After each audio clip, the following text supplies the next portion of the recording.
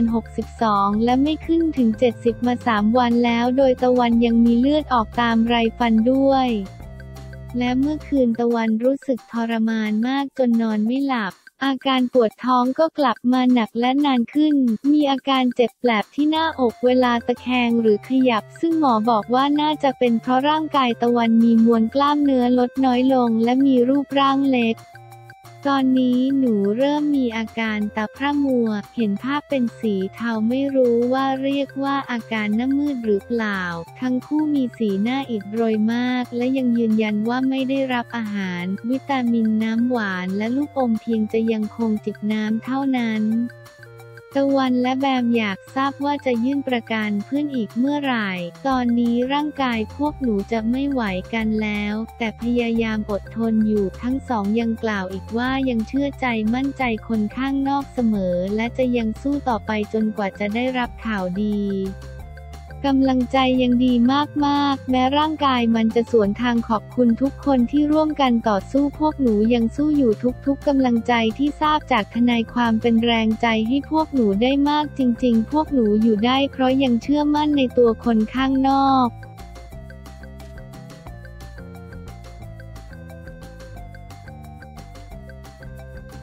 พลอย ชิดจันทร์คุณแม่สายสตรองไลฟ์ขายทุกอย่างสินค้าล่าสุดกละมังพลอย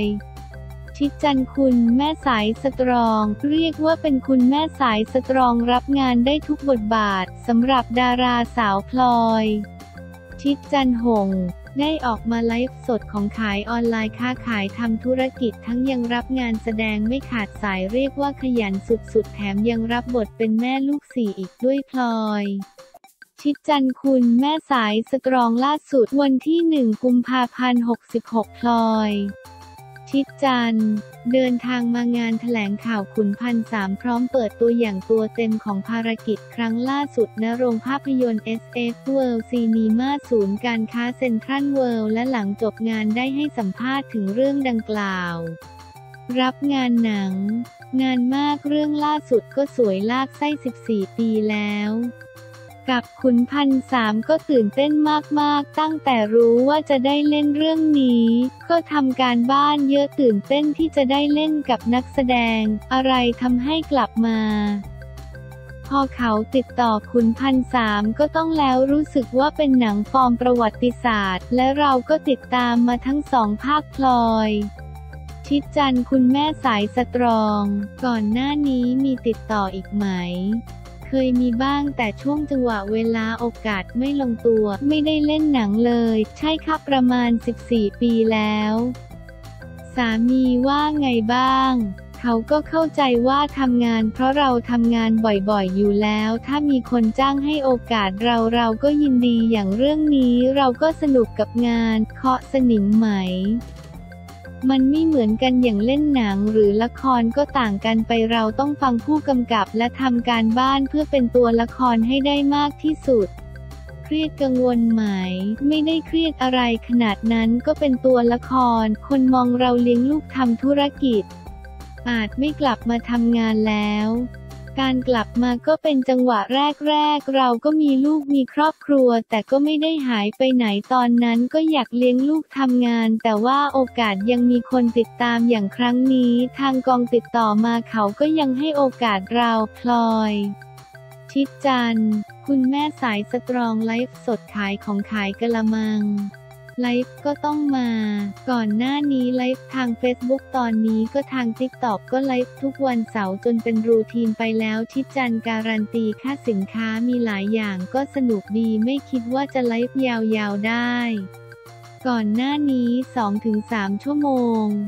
ล่าสุดก็ไหลไป 5 ชั่วโมงก็ยังไหวคิดว่าก็ได้นะเหมือนนักไลฟ์ยาวๆ มาราธอนได้รับผลกระทบหมายยอดคนดูน้อยลง ก็อยู่ที่แพลตฟอร์มของเราก็เจอค่าช่วงหนึ่งก็มีน้อยไม่เหมือนเมื่อก่อน แต่ยอดก็ขึ้นนะเราก็อยากให้เติบโตให้ดีขึ้นเราก็อยากสนุกไม่อยากกดดันต้องได้เยอะพลอย ชิดจันคุณแม่สายสตรองขายทุกอย่าง ใช่ค่ะทุกอย่างค่าขายโทรศัพท์ต่างๆ ตั้งแต่หลักสิบถึงหลักหมื่นก็สนุกดีค่ะก็หลากหลายให้ลูกค้าทุกคนซื้อได้ เราทำการบ้านขายสิบอย่างทุกคนได้ซื้อทุกอย่างมีของเยอะไว้ก่อนดีกว่า ตอนนี้อยู่เชียงใหม่ ใช่ค่ะ ขอบคุณไอจีพลอยยิจุน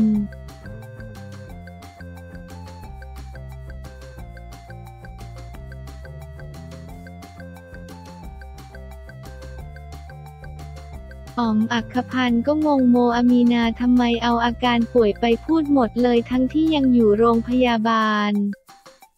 ห่วงที่บ้านพระเอกหนุ่มอ๋อมอักพันธ์ก็งงโมอามีนาทำไมเอาอาการป่วยไปพูดหมดเลยทั้งที่ยังอยู่โรงพยาบาลกลายเป็นกระแสวิพากษ์วิจารณ์ถึงความถูกต้องเหมาะสม หลังโมอามีนานำเรื่องราวอาการป่วยของอ๋อม อักพันธ์ออกมาเผยแพร่สู่สาธารณะจนเกิดกระแสดราม่ามีคนเข้าไปต่อว่าสาวโม อามีนาว่าการป่วยเป็นเรื่องส่วนตัวถ้าไม่ใช่คนในครอบครัวหรือญาติพี่น้องคนใกล้ชิดจริง ๆ ไม่ควรออกมาพูดเรื่องของคนอื่น รวมทั้งคนบันเทิงเองก็ออกมาตำหนิสาวโม อามีนาด้วยเช่นกันอาทิมดดำคชาภาซึ่งทราบเรื่องอาการป่วยของอ๋อมพูดคุยกับอ๋อมผ่านไลน์ทุกวันก็มองว่าโมอามีนาไม่สมควรนำเรื่องอ๋อมออกมาพูดเพราะเจ้าตัวเองก็ไม่อยากให้ใครรับรู้ มีเพียงพ่อแม่ที่รู้ส่วนคุณย่าคุณยายซึ่งอยู่ด้วยก็ไม่ทราบเรื่อง กลัวกระทบความรู้สึกคนที่บ้าน